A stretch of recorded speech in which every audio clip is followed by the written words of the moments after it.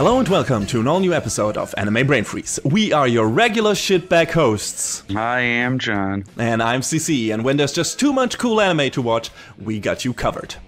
We took a week off due to Thanksgiving and work schedules interrupting, but now we're back on track. Hope you all who celebrate that holiday uh, stuffed yourself with food and problematic family discussions to your heart's content, because now it's time to dive back into the colorful world of anime. Today I will rejoin shitbag anime Skeletor Ainz and his monstrous MMO crew to uh, check out the third season of Overlord. And after that, uh, John and I will talk about the most relatable of shitbag gamers, uh, the lovely question mark uh, Chio, and the friends opponents who join her on her road to school. So let's get this show on the road as well. We'll be right back.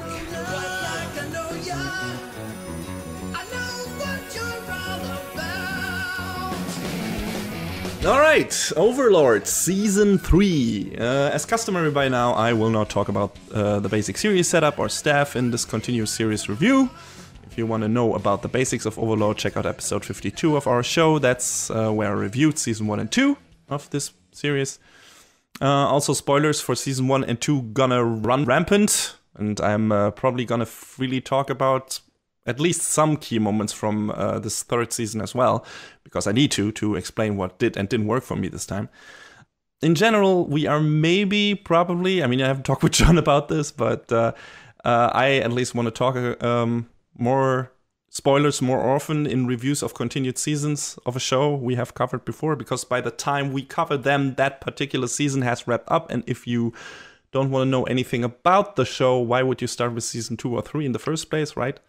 So if it makes sense, at least for those types of reviews, I think it's more beneficial to be able to not dance around the bush uh, so much to discuss some of the more substantial developments of long long running shows like that. So yeah, yeah, it makes sense. Mm-hmm. Uh, yeah, I was a bit miffed that we didn't like deep dive really into uh, season three of My Hero Academia after we finished that recording, and was like, man, I wished I could have you know talked more like concrete about some of those things that happened and we didn't like you know weren't being so vague on some of that stuff. But well, we'll have our chance. In season four yes thankfully. Um, but still um, that's what we intend to do. And that out of the way let's do a quick recap to remember where we are in the story of overlord at this point. So when we last left the mmo junkie Ainz who got whisked from his favorite pastime into a fantasy land and turned into a real life OP wizard lich, uh, he had already undertaken the first steps toward increasing the size of his dominion.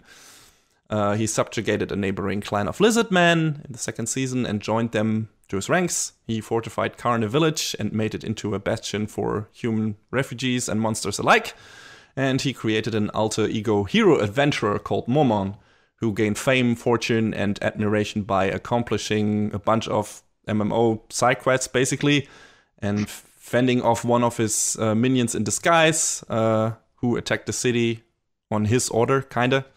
Uh, and now he's ranked as probably the strongest of the Adamantine class adventurers, which is already the strongest adventurer class out there. So things are not looking bad for him. Uh, meanwhile, the ruling forces of the kingdom of uh, or Reestes, I don't remember how it's pronounced exactly, uh, where the Tomb of Nazarick, Ainz home base, materialized, are still pretty oblivious to what's the danger brewing near them, and are playing their own little political games and everything on the side. Uh, so as you can see, a lot of moving parts in terms of world building, which is definitely still one of the strongest parts in Overlord. It always has been uh, like slowly getting us and uh, Ainz at the same time accustomed to the rules of this world, and then progressively increasing the scope of the geography and the number of nations and factions and characters, and giving them all different agendas and drives. Uh, this is still where the show does some of its best work in this season as well. I mentioned in my review of season two that things focused a bit too much on the world building and characters, side characters for me there but only because it was such, you know, a stark contrast to the first season, which was very like focused on pretty much only Ainz and his core crew of servants, the floor guardians uh, of Nazarick, and then you know, they suddenly increased the number of characters and character relations and plot threads in the second season like tenfold, pro- probably. Which at that point felt somewhat like stitched together. Like, okay, we're gonna dabble a bit into that character and that character, and now we'll see those again. It was nice seeing a lot of the side characters again and see like, oh, those are gonna be like mainstay players, at least on the sides at this point. But it felt like, okay, we're losing sight of Ainz a bit, and I still considered him and his main servants to be the main guys of the story, and we, we saw kind of very little of them in the second season. And at that, you know, that that didn't, I, I that felt a bit, I don't know, cobbled together for me at that point. But that was probably because I wasn't really seeing the big picture yet, much like Ainz actually, which, you know, he is not an idiot at all but he's still always one step behind the plans of his minions, mainly Albedo and uh, Demiurge, who, even if Ainz didn't plan for it himself, which is most of the time, uh, interpret all of his wishes and improvised plans as grand machinations of world domination, which they, of course, then steer all their efforts towards. And those moments are still the best sources of comedy in this series. Like when Ainz um, is explaining uh, why he did a certain thing, like saving a village or not killing someone, uh, to some of his minions who don't understand it. And then Albedo and Demiurge are smirking, like, You fools! Do you really think that is Lord Ainz's real reason for doing this? And the other mi- and the other minions are like, Oh, and Ainz is like, What? What? What? And uh, you know, then has to come up with a ploy to make his left and right hand guys explain his plan to him because you know he obviously has no idea what they you know s- saw in his initial plans uh, and what they're gonna do. So you know to keep a lid on that and a grasp on that, he uh, has to think on his feet uh, quickly on his feet. So yeah, that's those those scenes are comedy gold and uh, made me laugh every time. Uh, but yeah, like I said, uh, often Ainz doesn't really know where his or his minions' plots are going. So why would I? Uh, but the show title says, says it all, really. Um, he's destined to become the overlord of this realm. There might be some turns and detours on the way, but that's what the show ultimately is going for. Um, him increasing his ranks and taking over. All on the admittedly flimsy premise that he's trying to find and reunite with some of his old cherished MMO buddies who might have also been transported to this world, but that's not made clear, you know, that that's actually the case. he's just, you know, basing that on the fact that he is here and maybe they're there too and he wants like to rejuvenate his memories of the, the, time they all played the game together and that's why he's doing this which is kind of pretty i mean it's understandable from uh, an emotional point of view especially if you consider that he was like a i don't know poor little basement nerd who didn't have much going for in his life except for maybe his his mmo thing right and uh, you know he that's what he had, his most fun time and memories of and now that's gone and he wants to get that back. So okay i get it but it's still kind of flimsy especially considering what's happening in this season. It uh it's not that convincing. But yeah i'm i'm glad to say that season 3 is much more straightforward in you know in that regard in establishing what it is going for a lot of the new characters introduced in season one and two play an important role now, and uh, takes some very big and important steps toward world domination. We're also a bit more focused on Ainz and his, uh, and his core team again, as well, and to an extent, Enri and Nfirea, who are the most important human members of the cast, probably, and who are basically the heads of Carne Village at this point, the village close to Nazarick but that's also what I was missing in season two. And season three, like, immediately starts off by giving us a fun uh, Nazarick Floor Guardian episode, uh, which gets us reacquainted with the main players, and it's just goofy fun all around. And the best thing is probably Albedo summoning her demon steed for the first time and not being able to ride it. Because it turns out she is a virgin succubus, because she wants to save herself for Ainz. You know, there's this thing about unicorns who can only be ridden by pure maidens. Well, hell horses can only be ridden by ladies who get down and dirty. So that was kind of a great, mm. hilarious twist on that particular fantasy trope. She, you know, just can't do that. made me laugh. But after that, we uh, get a small arc of Ainz adding some ogres and other monsters living in the area around Carne Village to his ranks. It's short and fun, but nothing really that substantial. You know, again, more world building.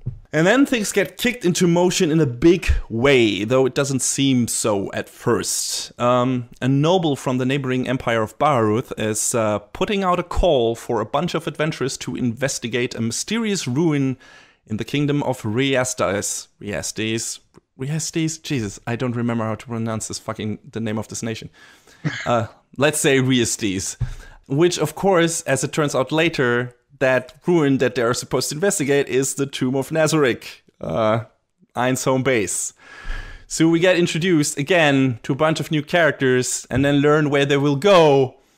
And immediately it's like, oh, oh no, these guys are so fucked. they are so royally fucked. And the show is outright saying that too, because Ainz is among the ranks of those adventurers, of course, under the guise of Momon, and when someone asks him if the adventurers will survive, he says, nah, they'll probably all die. And then, of course, quickly corrects himself, you know, to keep up appearances, but he knows what's gonna happen. And if the first season has told us anything, um, then that none of the side characters in the show are safe, especially not your standard RPG party of adventurers, likable as they may be. And uh, we get introduced to such a group of four again, who are very sympathetic. Um, Overlord has always done a really good job at endearing us to new characters, only to put them in harm's way and uh, into a lot of danger and threaten to rip our hearts out by, well, literally ripping their hearts out. And then the question as this arc progresses changes from are some of them gonna die to are all of them gonna die? And um, this is where the show becomes the darkest it has ever been and takes a pretty definite stand on its main character, so the adventurers enter the tomb and get confronted by Ainz' forces. And just from the setup, this is interesting and different again because usually in a game or in another TV show, we would only get the perspective of the adventurers and dungeon crawlers. But this is one where we're basically seeing it all from the perspective of the final boss of the dungeon. And Ainz, now more than ever, is that final boss because this is the season where he finally becomes a full fledged villain and will become irredeemable in the eyes of most viewers. Um, there's no gray area here anymore. The show doesn't necessarily seem to agree on that, which is, you know, that's where some of my gripes with that show and that in this season lie. But for me, there is no coming back from what he does in this arc, and more importantly, how he does it. And what it comes down to is our four new side characters facing off against Ainz um, at the end of this part of the season, making some horrible misjudgments in regards to Ainz' character, and not only getting slaughtered, but meeting very different, very cruel, and disturbing individual fates. Um, the show was not for the faint of heart before, with all of its gore and brutality, but what happens to these adventurers in this arc definitely takes the cake. And it's not because Ainz is necessarily what what he's doing isn't necessarily because he has to keep up appearance in in front of his minions, but he completely loses his cool and is being a giant asshole. And on the one hand, that is interesting because it means that the show is doubling down on its interesting perspective in uh, you know that the main protagonist of the series is a true bad guy. On the other hand, I wonder if the author plans to take Ainz down for that in the end. Because if not, I see me dropping the show on the way. Because who wants to see a genuine asshole succeed over and over again and kill innocent people left and right, like in the most cruel way possible without any comeuppance? I don't. I really don't so yeah, uh, this I mm, like building empathy for the main character of Overlord has been like always this difficult tightrope walk from the get go. Until now, they managed to make this work more or less by making him protect certain more relatable and endearing characters and mostly only kill people that are bigger assholes than he is. But this is a season where they dropped the ball on this, in my opinion. Maybe it's intentional, and this is, and I can't believe I'm drawing that comparison, and neither will you. Uh, the Breaking Bad of anime, and you know, and eventually all all his scheming and ambitions and edgelord antics, you know, uh, will bite him in the ass. But at this point, I kind of doubt that. I have a feeling that the author wants to paint Ainz at this edgy as this edgy badass you're still supposed to root for And after this season, I can't. I just can't. I get that his home is the most important thing to him and he wants to protect it and the memory of his old comrades and all at all costs. But like, come on, dude, chill the fuck out. You were just playing a dumb video game with some other dickheads. And man, boy, does he love to monologue about how a lot of people are about to die, but he doesn't feel anything because the only thing that matters is Nazarick. Like, cool, buddy! Keep on calmly breaking it all down in video game terms. Makes you look super awesome and edgy, not like a total psychopath at all. Ha ha ha ha ha! Jesus, like, I. I mean, I bet Ainz and um, what was his name?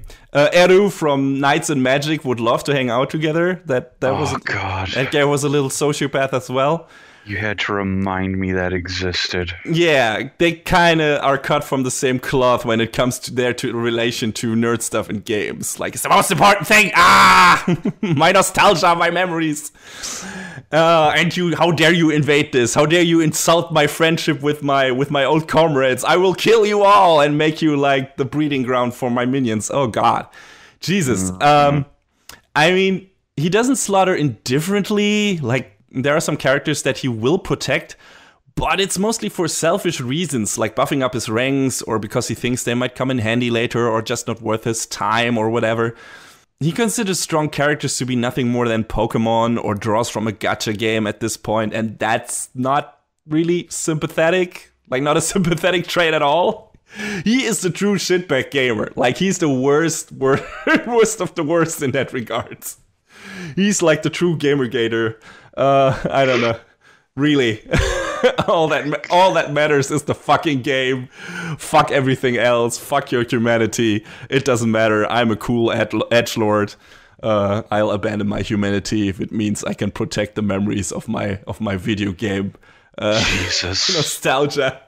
it's horrible. It's horrible. It, it, he he really goes there in this season. And yeah, that's that didn't work for me. At least not when it comes to like if the show expects me to like root for Ainz in the coming seasons or whatever, I won't do that. I can't do that because he showed his true colors. He showed what he truly is, a wimpy little piece of shit. Uh, and you know what we you know could garner from his monologues early in the earlier season, but you know that he still did things there that were sympathetic and were let me hope that he would you know go somewhere else, but he's not he's gonna be the villain of this. So if the show doesn't accept that and doesn't do something with that, um, I'll be disappointed. One thing that works in this, though, is subverting the standard party of adventurers, you know, that would be the protagonists and heroes in a standard RPG, uh, meet their tragic fate thingy, which at this point some shows have tried. Uh, Old Whipping Boy Goblin Slayer did the same thing in its first episode, uh, at least. But I think it works much better here because we spent a lot more time with the adventurers beforehand. Um, Overlord also doesn't reduce the horror just to its graphic imagery, uh, but also, you know, to the uh, psychology behind it. And also, we know a lot, a whole lot more about the villains in this story. They are the main protagonists in this. So we can see where they're coming from, even if we don't agree with their harsh methods. And at least they're not faceless random goblins. And that makes all of this and all the things happening here much more emotionally engaging and harrowing. And the fact that I got so mad at Ainz for going full ruthless evil asshole because, you know, of his entitled gamer pride, because that got triggered so hard, speaks for the way they handled this here. And, you know, just on the virtue of converting this trope into something else uh, or subverting it, they did a good job. Of course, it sucks to suggest that it only matters when people die in a show if you got to know them, you know, well beforehand. But it definitely makes the difference between, well, this sucks and it being uh, legitimately heartbreaking, which it was in this case. Uh, I still don't like this turn of events because I really liked Einzet's gang before this, but if uh, if that's what they wanted to do, they did a good job with it. And of course, Goblin Slayer uh, might be doing something like that later in its runtime as well. I'm only talking about how it went about tearing down that trope in its first episode. But it did wo- not work for me there and uh, especially not when compared to Overlord's later events, because it was only focused on the shock and awe of, of it all, uh, and you know the brutality and the gore and stuff like that, and making that the main source of horror, which I think Overlord does a much better job at that. So if you watch Goblin Slayer and like it, please feel free to write a comment and let me know if Goblin Slayer does something more along those lines later on as well, and also manages to bring some more interesting antagonists into the picture than random goblin hordes. But yeah, after these major turn of events um, in Overlord, Ainz basically goes into all out attack mode.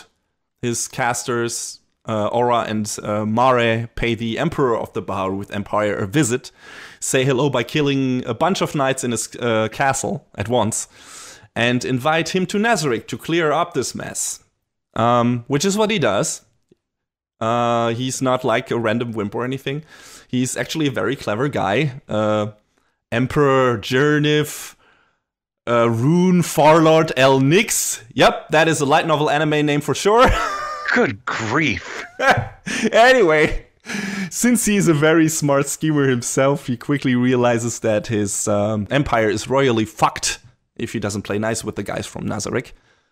Um, so that is what he does, all the while, like, already planning to search for someone who can take down someone like Ainz, which, even though the show hasn't really gone there yet, because Ainz is still the most OP character in this universe, is not impossible, I guess. Uh, states to one of his people that there were enough powerful people in that room, and he's talking about the Floor Guardians, of course, that if they all banded together, they could take Ainz down.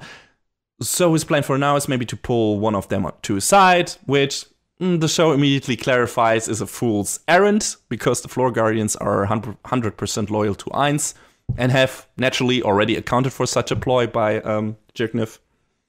But that doesn't mean that there isn't someone in this world who can take Ainz down, especially if some of his MMO friends made it over and maybe one of them isn't a, you know, as big of a dick as he is.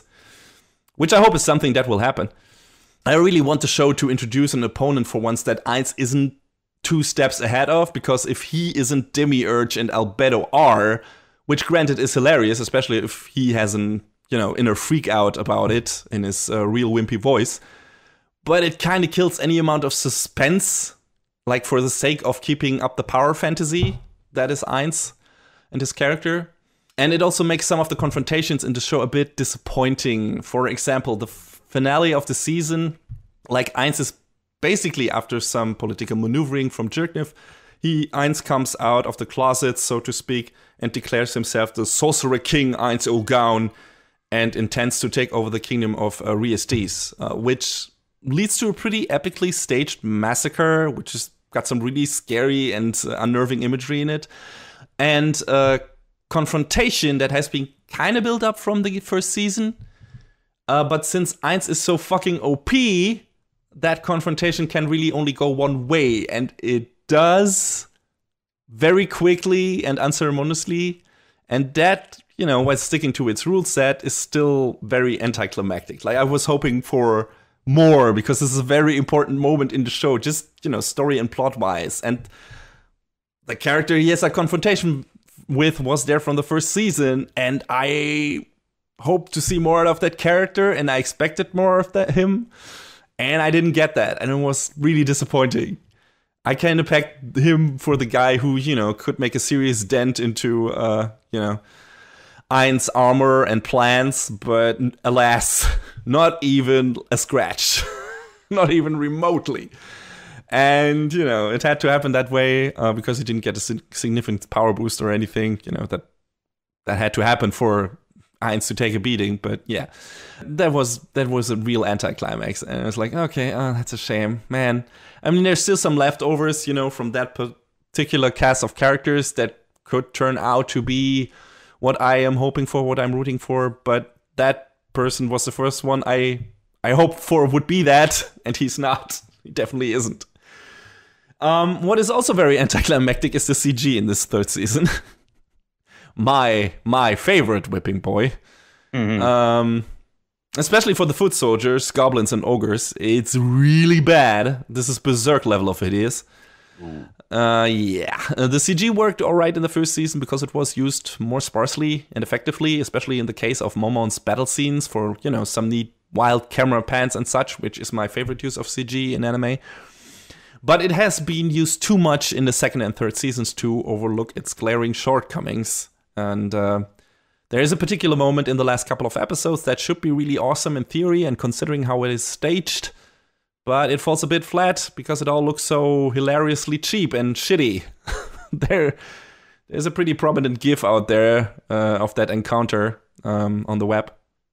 I don't know how, how I could make you search, but maybe search for Overlord shitty CG dot uh, GIF and uh, maybe you'll find it.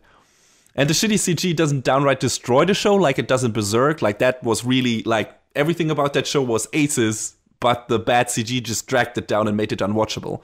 That is not the case here, not at all. But it's still a sore thumb that's sticking out way too often, and I wish it wasn't in there at all. But yeah, that's where we are at the end of season three. Uh, Ainz is without a question, for me at least, the main villain of the series now. So far, nobody has entered the picture who has even a sliver of a chance to take him down or even on. The people in his own ranks excluded. Uh, Shalltear came very close in uh, in the show's first season. Uh, if that cheating shitlord Ainz hadn't used pay to win items, uh, let's not forget that ever. Uh, but the question remains: Where do we go from here? Will we get another 26 episode of Ainz slowly taking over this world and killing anyone who threatens the shrine of his stupid MMO guild? I hope not. Uh, it's definitely time for an old friend of Ainz to make an appearance in this uh, world, like show up on uh, Ainz' doorstep to tell him that, you know, what an asshole he has become, and then kills him. Or maybe it's going to be a character that Ainz hasn't really accounted for. Like the show is doing a thing towards the end, which makes me believe that a certain character has the hidden potential and magical prowess to overthrow Ainz eventually, which given who that character is now, would be pretty damn great. I will admit that if they really built that character up to be the eventual, like, I don't know, final, the actual protagonist of the show or the antagonist of Ainz at least. uh, that would be amazing. That would be great. Uh, I'm not sure about that yet, though, if that's what they're going for. Uh, but yeah, so they can take their time getting there, but I need to know that this is what's going to happen. Or I can see myself dropping the series on the way because, as much as I like the atmosphere, world, and characters in the show, I don't want to see Ainz come out on top at the end. I want to see. I don't want to see him succeed. I don't want to him. He can have his, you know, his kingdom is ruined, everything.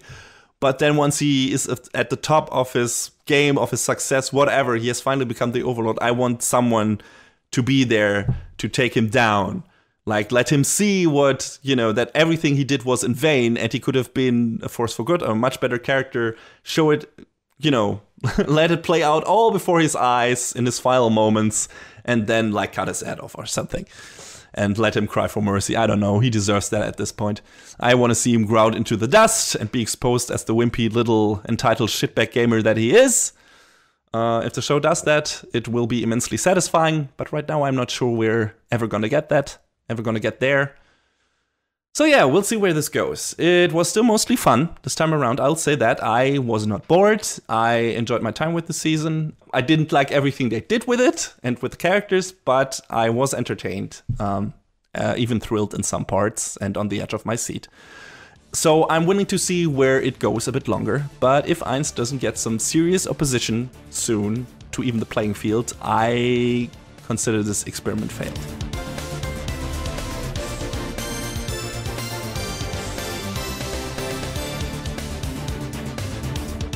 So we go from all of that to your truly everyday average, no, absolutely unquestionably normal daily trip to school with Chio's school road. Mm-hmm. There's, there's nothing to see here.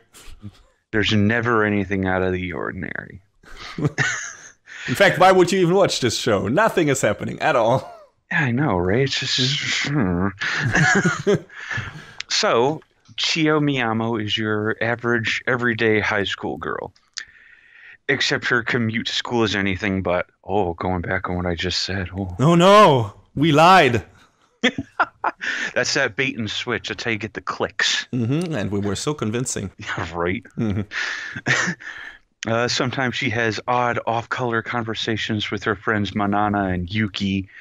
Uh, encounters with the leader of a biker gang and his troublemaking little sister, or other weird shenanigans. Each day is a new adventure and just trying to get to school and not having to deal with anyone else's nonsense. Mm. I mean, this show has a very simple setup, and it, it's just, you know, a very sort of straightforward comedy show. I felt. I don't know about you. Yeah, but, uh, definitely. Like, and it's set in all. It has the same setting for every episode, and it's mm. you going to school. and I, you would be surprised what things can happen on your way to school. I was surprised. I can tell you. Holy shit! this show. Oh so we talked uh, a few seasons back about um, Hana Matsuri, Hina Matsuri, excuse me, and how it started off pretty funny and then it sort of petered out after the first few episodes.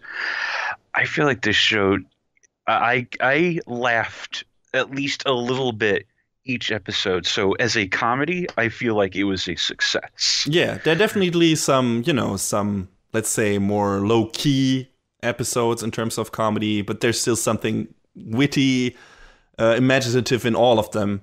And then there are these like highlight gut buster laugh out loud episodes in there that are just you know beat uh, like like great gags by the minute uh, jo- uh, jokes everywhere and fun references and the characters being amazing in how shitty they are and yeah it's it's great stuff. Everyone is everyone is a weirdo for different reasons in this show, and it, it just it just plays to how funny it is. Yeah, like uh, including Chio introducing herself to uh, the fierce biker boss uh, Mayuta Ando under the name Bloody Butterfly. and you know that was definitely one of the highlights of the early episodes, like that I was rewatching that with two of my friends.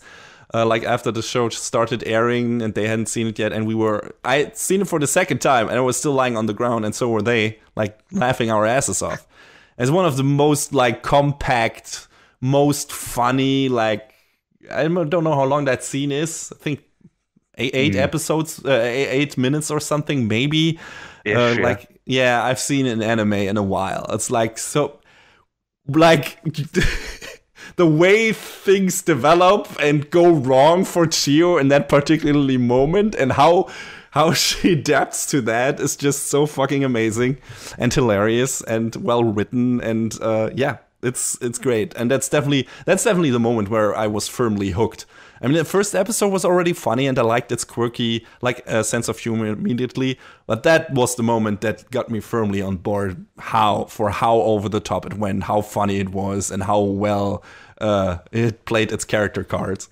Mm. I don't know. Was it the same for you? Oh yeah, definitely. I think what uh, really hooked me in pr- pretty much each uh, scenario in the show was everything was always about how much further out of hand can this situation get, and you, and you you never expect it. the, the, mm-hmm. show is you know you say uh, expect the unexpected. Yeah, yeah, mm. that's this show. yeah, definitely. And you know, I mentioned before the episode, uh, the the series is full of references. It's very it has a very heavy focus on game related stuff at times. Like Chio is an avid gamer, um, particular kind, which is maybe yeah. not that regular in Japan because she's really heavily into Western games, and that is also a very interesting aspect of the show. Like the view of this shows on Western and Japanese games is hilarious and insightful. Like the Japs taking up both like your standard Western shooter and its fan base and player base and everything and how they behave. And you know, your standard Japanese games and you know, there's a Jap at, at Boys Love Games in there that is super creative and funny. It's an hilarious episode and you know, gets even dragged out to more coming episodes in regards to how that develop some of the characters and what they do because of, uh, of that. And, and it's amazing. Uh, yeah, there, I think it was had some really really good stuff if you know your name uh, your way around with your video games. Like a lot of like in-depth joke poked at uh, that particular genre that worked really well. Not mm. you know just in terms of hey here's a reference to a game like you oh what show did that you know just throwing a reference in there but not really tackling the subject all that interesting. I can't think of the name of it. Hmm. I think mm. we've hmm. mentioned it before on the show. mm, yeah, I, I th- you know, it just Ah, it's on the tip of my tongue. yeah, I think uh, you know, mm. I, I, don't, I don't, rem- I don't remember. I don't quite remember. Oh well, shit happens. Anyway, this show is really good at that. I don't know what was your your favorite uh, reference in that regard or thing they did. Can you think of something offhand? I mean, they came out swinging on the first episode with her being like, I'm going to parkour around these buildings because I play totally not Assassin's Creed. And I'm like, oh, this is the direction we're going. Okay. I'm all right with that. Yeah. Uh... or later on when she's like, man, why are Western games so focused about saving America? Well, I finished the game, so you better thank me, America. It's like, what are you on about? And she, like, adapting all the different characters you know from certain Western games. Like she becomes basically Chio Fisher at some point. Uh, That's right. I forgot. Oh my god, I forgot that one. Going full Splinter Cell on everyone's asses. There's an amazing scene. Oh god, that made me laugh so hard. Um, the smartphone grandma that is yes. in front of the shore is just fucking you think, oh, that's so like so sweet, and where should they they come up with this very convincing story of why she's sitting in front of that store, and then it turns out, nope, that's not it at all. the so- show is so good at taking certain things, like setting up an expectation for that, and then completely turning that on its head.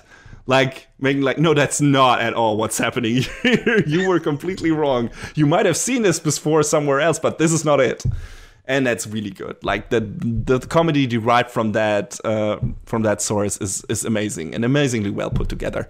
Like i said some of the stuff is slower and you know it's not all laugh out loud but it, it's at least worth a chuckle. And some scenes you know like i mentioned the smartphone grandma are like hilarious to the max. It's amazing. Uh, the episodes with Madoka, and she wants to do uh, th- this weird contact sport, kabaddi, and she just really kind of wants to feel up the other girls, and it's it's out there. She makes everything uncomfortable for everyone else, and it's mm-hmm. just the show goes it goes places, man. I it's it's having fun with it. Yeah, it, it really does. Um, like I don't know about like a complete subversion of expectations every t- every no, time no, no, you watch. It but. plays something straight too, but you know that's that that's why when it doesn't, it works incredibly well.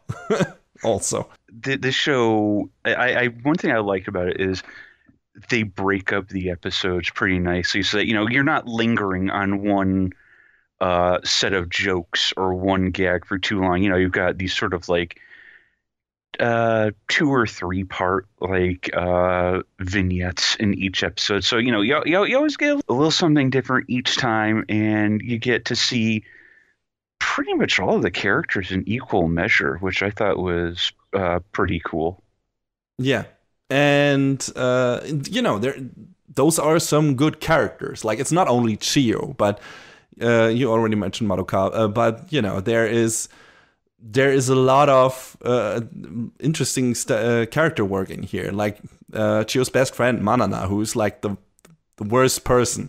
Like she's a giant shitbag. Holy shit! Like I mean, Chio is is a shitbag too, and there is a reason that those two are friends. Like their friendship is very real and also phony but you know you can see why these two characters stick together because like they're a bird of a feather. Like they're the same kind of person in one way or another.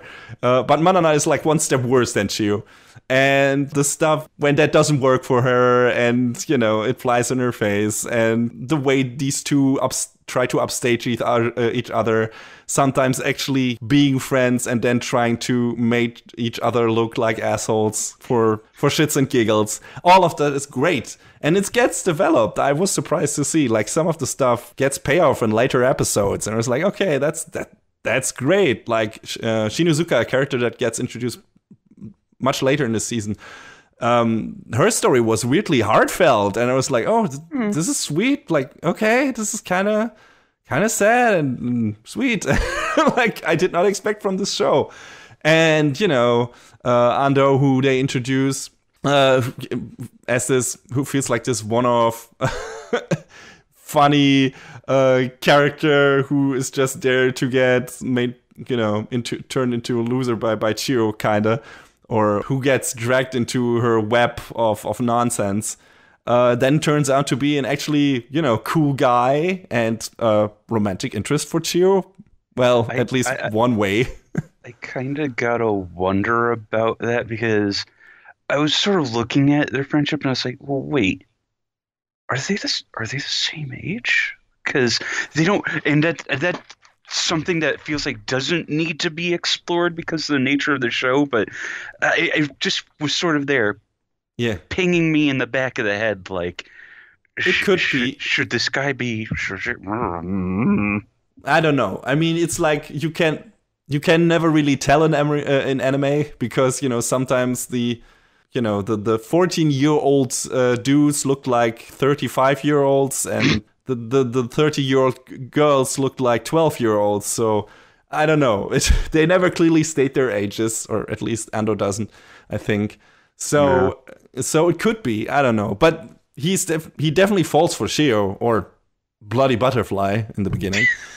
uh, and you know they do something with that and also again great source of comedy and one of the thing i loved about this show is where you know your standard moe tropes of the girls being cute uh, cute and you know being you got these standard scenes where they seem to be like kind of innocent and flustered and they're drawn all cu- cute and everything. That happens in this show as well but it's all for the sake of a joke. It- you know that at the end usually makes the girls look like idiots or assholes. And you know there's a scene where Ando does something sweet for Chio and everything and she's like oh my god uh, i don't know if it was something where she was acting like she was afraid that he's hurt or something. And then at the end turns out she's only manipulating him like for some specific reason. Uh, I, I need to look up what exactly happened there and how that played out. But that was also incredibly funny where it's like oh right, is she really like is oh is she also like falling for him? Is she does she like him? No no no. She she has there's only one reason she is doing that. Like there's only one reason and that's for her own gain. But you know the the series doesn't play it like that from the beginning. And then at the end it's like oh this is what is actually going on. And that was so nice because it kind of i don't know if it was intention but i think it was it kind of sets you up to expect like the standard behavior you get from other straightforward more more shows where you got a bunch of cute girls who you know act a specific way and are supposed to make you the viewer root for them feel for them maybe in some cases fall in love with them you know there are a lot enough people out there. And then in this show it shows you oh you fell for a complete act. This is all an act it just shoots you down at every angle, basically. Exactly. This girl is a shitbag that is playing with you. And the show is, and that's, you know, what some of the other shows in that genre do as well, because the girls are only like drawn that way, characterized that way, acted that way, because, you know, they want to uh, endear the character to you to make you pay for model kits, whatever, like pull the pull the money from your pockets, like you know stuff like that. And this is what the show, what what Chio plays to uh, and makes fun of, and many times during its runtime, like showing you, oh, there isn't that a cute girl? And look how she's behaving. And then, nope, she's a shitbag. better believe it. She's not endearing at all. Kind, she kind of is, but she also also isn't. She's a horrible person, and a lot of that feels like surprisingly real. Like I felt all of these characters in there as quirky and as weird and as crazy as their antics become in certain parts felt really relatable and real. Like especially uh, Chio and Manana's relationship. I think that friendship, like taking constantly taking jabs at each other, having probably a truly emotional bond that both of them can't really commit to, but that still is there. But only manifesting in them, you know, being together all the time and taking jabs at each other and making fun of each other. That felt like definitely like some of the friendships that I've had in my life. And yeah, I don't know. How, how, did, how did that work for you? Kind of reminds me a bit of the really weird quote unquote friendships and relationships that we saw in Konosuba.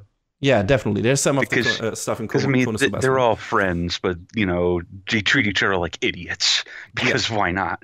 That's yeah. what you do to friends. I think I think Chio is is even a bit more mean spirited than Konosuba in some parts. I mean, I've only watched the first season of Konosuba to be fair, for uh, until now at least. But some of the stuff Manana and Chio do is really mean. Like it's really, really, really mean. I don't know how many times I was sitting on uh, on the couch and was like, "Oh no! Oh, that's so that's so evil! Oh, you evil person!" It was funny, but it was evil and uh, yeah, uh, but but you're right. is that there's is that there's comeuppance for each other because you know. Oh yeah. Oh you, oh you got me for this. Oh just you wait. you know the thing I want from Overlord happening like the, the evil schemes and machinations biting the main character in the ass that ha- constantly happens in Chio School Road like. Damn, everything they got laid out, and it's like, oh, come up with these like giant ass complicated, elaborate, complicated plans to make themselves not look like idiots, like completely falls apart and makes them like look like the biggest assholes. And yeah, that's done so magnificently in the way it's staged, in in the way it's like, uh, in the way it's scripted, in the way it's framed and directed. Like, you know, one of the best things in that regard in the first ep- uh, early episodes uh, that we already mentioned was the thing where uh, meets Ando, um, the other thing is where she meets um, the the classroom idol character basically, and uh, wants to become her friend. Uh, oh, Yuki, yeah, y- yeah. And then it's like this weird situation that we, I can speak that I had the situation before where she is waving, uh, Yuki is waving at her. and Chio doesn't know how to react because you know, if you consider uh, that each classroom, you know, in high school has a social standing, you know, there's some people at the top who hang with the cool kids, some are in the middle who are not, you know, really noteworthy, and then there's like the low class. She was kind of like in the middle. She is not really a person that people hang out with. She is like uh, inconspicuous, uh, inconspicuous and everything. She's not someone that, uh, you know, anyone would take a second look at. And then so- suddenly this incredibly popular nice person waves to her and she's like wait is she waving at me? Oh i want to wave back because i want to become her friend obviously. And then she thinks oh wait maybe someone is behind me who is an actual friend of hers and i uh, if i if i wave back at her now i make a complete ass of myself. And that like results into this fucking like her meltdown in her head where she's like oh my god what am i going to do? How am i going to get out of this situation if I don't wave back at her, if because if someone isn't behind me right now, and I don't wave back at her, she might get super angry at me and have no chance of being a friend uh, uh, with her ever again. And then she like tries to like process all the different possible angles how she can get out of the situation, like in this instant in her head. And I definitely feel like I have been there before in my high school life. Like mm. that felt so real to me. I was like, oh my god, yeah, this is this is true to nature. This is amazing. And I have done some stupid stuff to get out of situations like these. And not something like she does. I, I was never such a creative person. I like my head off to her. Like holy shit! literally throwing yourself in the garbage, diving headfirst into the garbage. Res- yeah, or, or respect to you, cheer. That's an amazing scene. But yeah, it was like, mm, goddamn, that is well done, and felt again super relatable. And yeah, I made me like so endeared to this character. Even, especially later in the season, she often shows her true colors. She is not a good person. Well, she is a good person, but she's also a shitbag. You know, you can be both. Uh, you don't always have to be an Ainz. You can also be a Chio. Uh, you know, good person deep down, but a shitbag on the outside. So yeah, that's what she is. But you know, occasionally you see the person she is deep down underneath. and that is you know what you. Then I'm also endeared. Uh, to be fair, I'm also endeared to her shitbagness. Like that's also a fun part. I wouldn't like. I don't know if I would like to hang out with such a person all the time, mm. or you know, uh, you know, if I would want to be friends with such a person because that sounds really taxing. Yeah. yes. but, but it's fun to see her work and do her thing. And you know, Manana, the same accounts for uh, accounts for Manana and something like you know, and some of these other characters. You know, there are a lot of side characters in the show that are super funny and stuff gets super dark. Like this one character that becomes the sensei of Madoka later, who's like oh, he's the hidden master of comedy, blah blah blah, and they they do have the standard thing where it's like, oh, this hidden master warrior and stuff. No, it turns out he was like a fucking guy who groped underage high school girls in the train and got imprisoned and then lost his job and is now living as a fucking homeless person. And it's like, and that all happens like in, in the brink of an eye, where it's like, oh, oh, okay, this guy has a hidden side to him. He's really cool. He's not just a homeless guy. No, no, he's an actual bad person. he's he's a really shitty character and a creepy dude, and it's like what the fuck, coming out of nowhere, but it's super hilarious, and um, yeah, the show just never ceased to surprise me with how weird, how you know creepy, how uh, I don't know out there, how uh, yeah, how quirky and uh, how real it could become. I don't know. Do you have a favorite moment in this show? Not in terms of just the game references, but you know everything like uh, something I don't know, certain character development or you know a certain mini story or something that happened. Oh yeah, yeah. I I just thought of it when um Chio and Manana find the um used cigarette butt. Oh yeah. Oh, fucking amazing. That and another one of my favorites is um hey, what's something you always wanted to do? You know, I always kind of wanted to be alongside one the person in a car when they toss their cigarette out the window. Just toss it right back in the window and say, "Hey, you dropped this." and she has her opportunity and fucks it up. Spectacularly fucks it up. Oh yeah. yeah, she fucks it up could be like the subtitle of the show. Yeah. School Road, she fucks it up. Uh, every time. Every time. Uh, and you you would think, you know, like I said, that could be boring. It's like, oh, this is gonna go horribly wrong. But the fun part is how it goes horribly wrong. And that's always different and always creative and always incredibly funny. And yeah, I I loved I loved the uh, I loved how well I loved this show. I loved this show. I loved I loved how it great. was set up. Yeah. It was I, so much fun.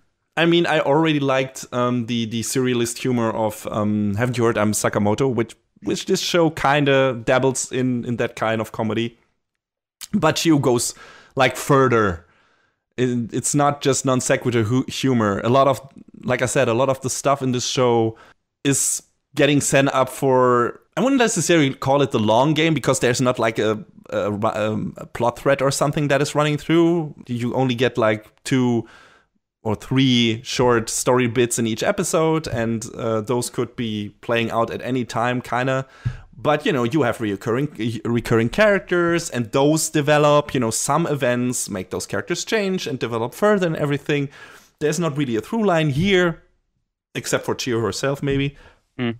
But you know, there's enough happening that it doesn't feel that this show is always starting from the same point, from the same status quo and that's cool. Like it slowly builds a world around these characters and always shows you something new about this world and new characters in there and how those relate to other characters. So the world building in the show is great as well. Like there there is there was so much more to the show than I initially thought and they did so much more with what they had, which is not really a lot. mm. You know, when you look at the premise. Uh, and uh, yeah, I I um I was I was engaged from beginning to end. Like we said, there were some low key episodes, but you know, I was I was never bored. I don't know if you were at some point. No, I, I, I got to laugh at least once each episode, and like I said earlier, I'd consider it a success on that front because that's what it was going for to be a comedy. it helps if you are like like we said invested in video games because a lot of jokes are derived from that when it comes to how Chio behaves and what her let let's say what her train of thought is and mm. why it goes a certain way because she's clear a lot of her actions are clearly inspired uh, inspired by what she does in her free time. Her and also, brain as she calls it. Yeah exactly. Max once you go maximum game brain you can't go back.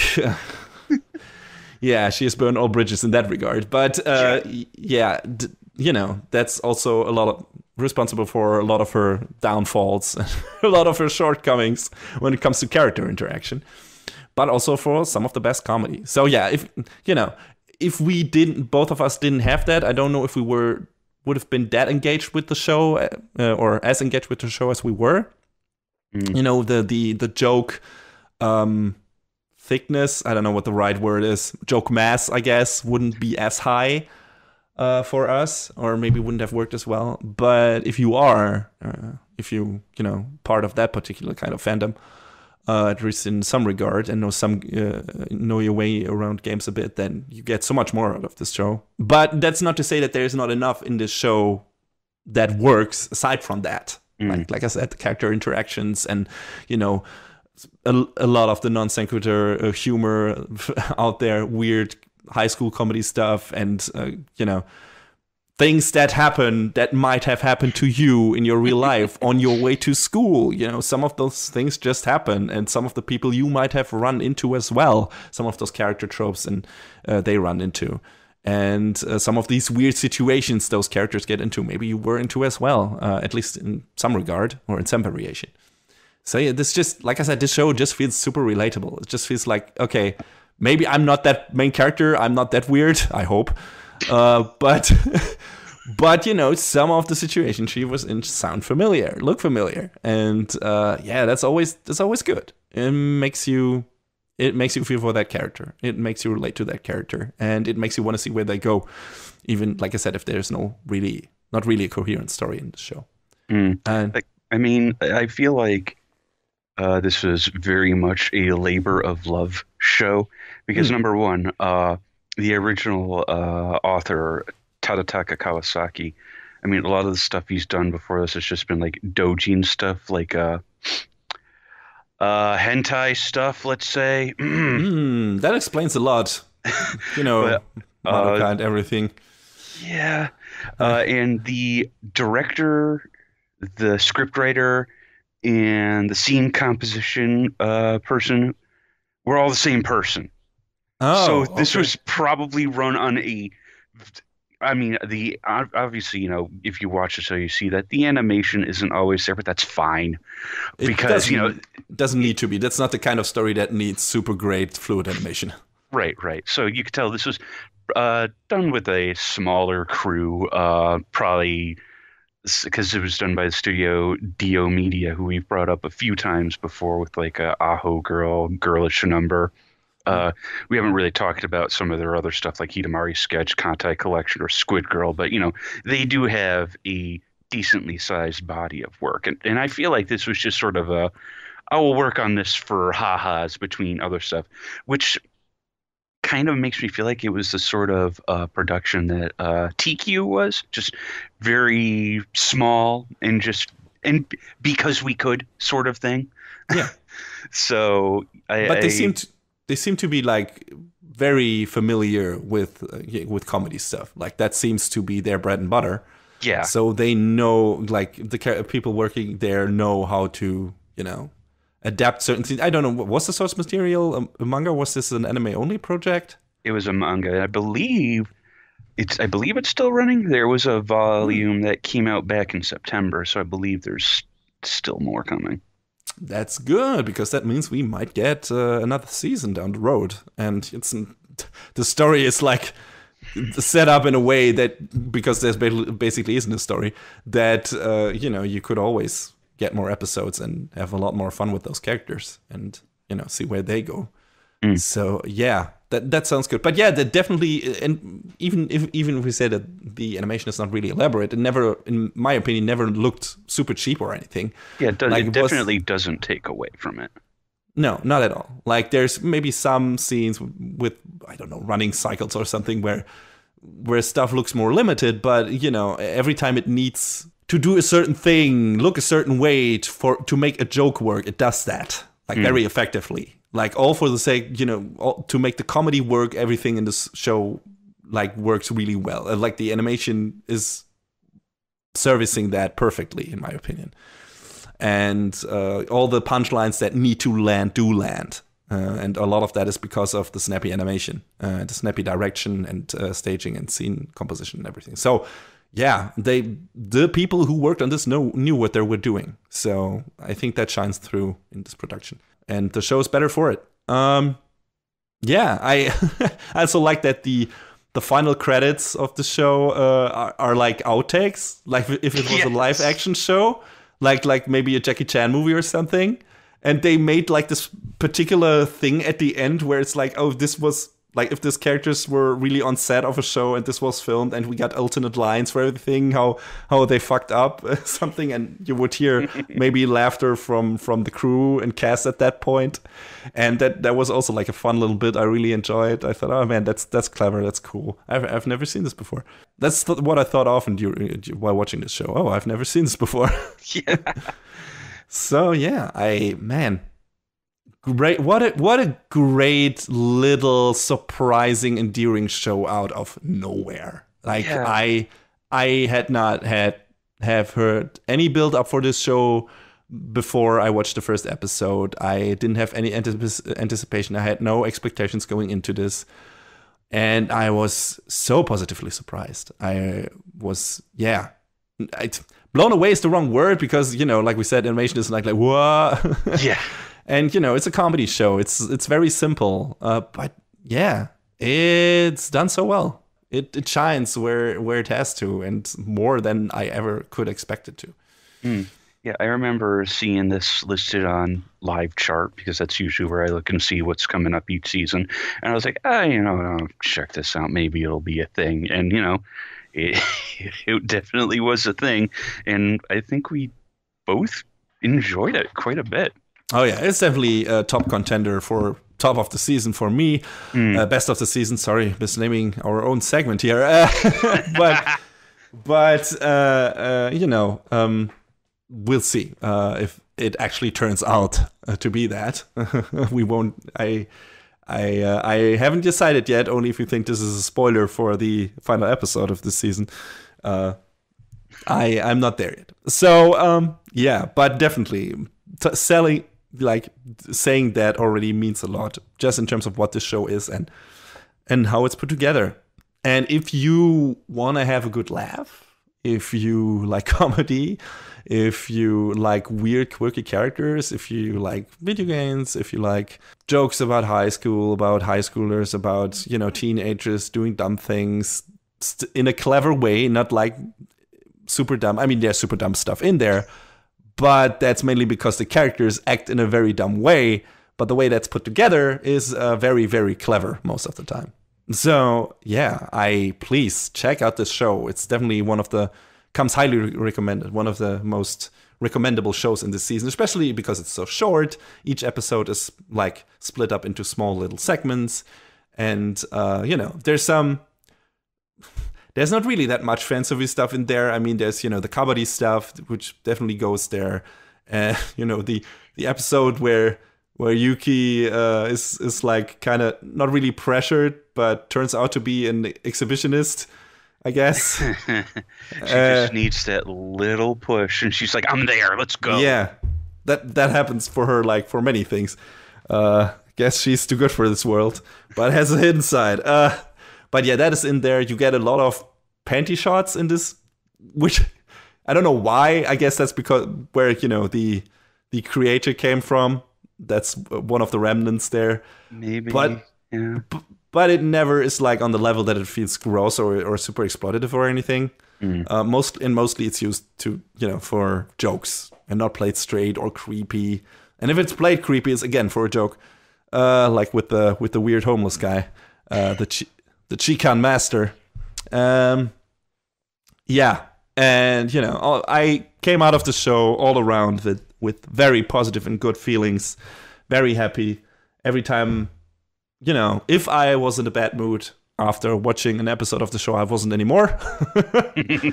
Which you know, this I think this is, I guess, not all you can ask for, but most you can ask for from from a comedy show, like making you laugh, making you feel good, having a good time, and maybe you know giving you in certain episodes more than you expected, and uh, some some heartfelt stuff even in there, even if it's incredibly goofy. But yeah, I I recommend the show. I think everyone should watch it who who likes to laugh. Uh, John, you are the same, I assume. Yeah, I mean, if you're looking for something with a little bit of off-color humor, it's it's great, and you can uh you can go check it out on ye old Crunchyroll and Funimation if you are so inclined.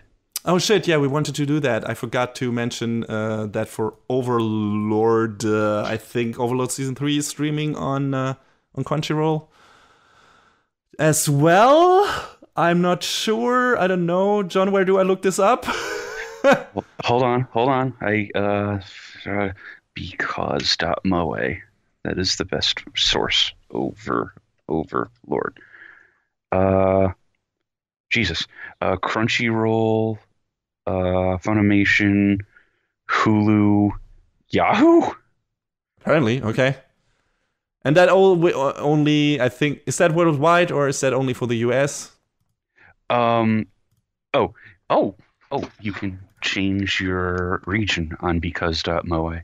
Mm-hmm. Um, oh, I don't know if we have any German listeners, but you know maybe it's interesting for you guys as well. I should probably stick to the American audience because this show is in English and everything, and only because uh, uh, I don't uh, I don't hail from the US doesn't necessarily mean that our listeners do so. Yeah, I mean, I when I'm going to reference where shows are airing, it's going to be obviously for the American region, but you can look up where shows are on because.moe, on Live Chart, I, to a certain extent on Anime News Network. Sometimes they list the licensors and the show credits there. But yeah, I mean, I feel like yeah. we've reached a, a time where it's easy to look up whether or not you can watch any given show but still we wanted to mm, you know mention uh, or start mentioning where the actual shows are streaming so that you can easily you know without doing some research go mm. immediately after listen to the show if you think you heard something that sounded good to you maybe like maybe you did in this case with overlord and uh, and uh, Chio uh, and check it out uh, if you are subscribed to that particular service or it's a free service uh, you can watch it for free i don't know depending on that um, I mean, Crunchyroll has a free model, right? I mean, it's yeah. just you just you know, have to wait with some extra week to watch shows. Yeah, but still, you know, by the time, uh, by the time, by the time you listen to us, yeah, we got full. You know, we do full season reviews, so we're uh, that show will be completely available, mm. uh, at, and that give on that given service. So yeah, do that. Check out the services, like John said. Chio is on Crunchyroll, right? Okay. Yep, and so, uh, and there's a simul dub on Funimation now. All right. I wonder how that is. But yeah, any last words on uh, this amazing little piece of comedy anime? Nope. well, okay, that surprised me, and that's uh, that's the best way to end this, I guess. See you guys next time. Take care, everybody.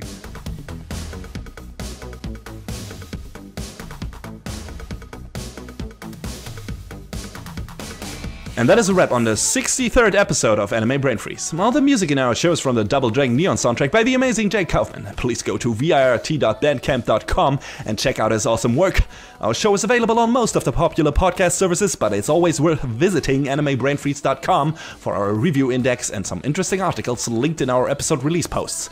Follow us on Twitter at AnimeBrainFreeze. We tweet regular updates and fun anime related stuff there. Leave us comments and questions on Facebook and our YouTube channel, or send an email to animebrainfreeze at gmail.com. We would love to read your feedback. Thanks for tuning in. We hope you had a good time, and please join us again on our next show. Macht's gut. So long, y'all. Next time on Anime Brain Freeze. Fighting plastic models against each other, but this time in VR. And a boy, a maid, and a human sized cat battle in an interstellar war.